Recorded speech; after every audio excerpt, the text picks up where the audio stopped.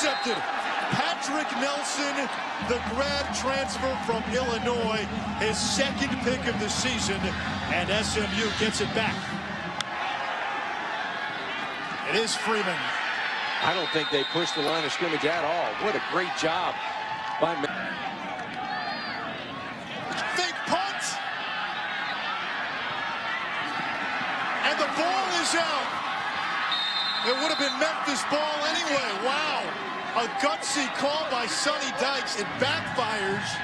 And now Memphis has the ball near the 20-yard line of SMU. It looks like Redding's the guy that gets on the football, but a gutsy call by head coach Sonny Dykes. Tigers need the 11. Late pressure. Henderson picked up the blitz. White escapes. Throws it into the end zone. And it's caught for a touchdown. Joey Magnifico. The name tells the story. Bell, the slot receiver. Hicks does move the pocket. Now looking for the throwback. Underneath the tight end. Becker has it jarred loose. And Memphis has it. Night showdown with Cincinnati. Darrell Henderson breaks free. Henderson off to the races, taken down inside the 30. The teams clustered around them, mostly option teams. Taylor breaks the tackle. Taylor into the end zone.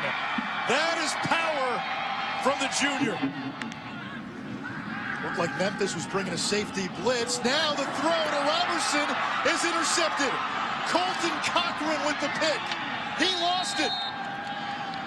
But Memphis will have the ball. Looking for six. Touchdown. Magnifico's second touchdown of the game. It is to Taylor, and he waltzes in for his second touchdown.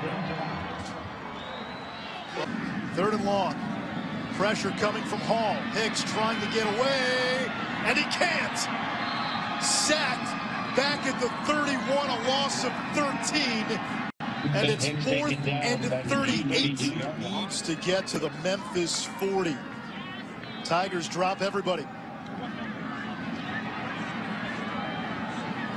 Hicks flips it downfield. It's broken up. No flag. And Memphis will take over on downs.